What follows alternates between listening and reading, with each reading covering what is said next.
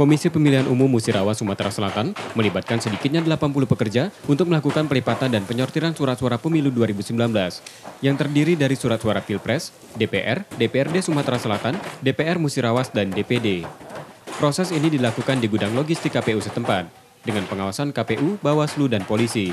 KPU Musirawas menargetkan pelipatan dan penyortiran surat suara akan rampung 10 April mendatang. Saat ini Musirawas sudah proses pelipatan dan pensortiran serta pengesetan surat suara. Target kita selesai proses pelipatan dan pensortiran dan pengesetan ini tanggal 10 April maksimal ya, maksimal 10 April. Tapi di bawah misalkan di bawah 10 April kegiatan ini selesai. Pihak KPU Murah menyatakan jumlah surat suara yang akan dilipat dan disortir sebanyak 1,5 juta lembar, yang 10 lembar di antaranya rusak. Faizal Agustiawan, Kompas TV, Musirawas, Sumatera Selatan.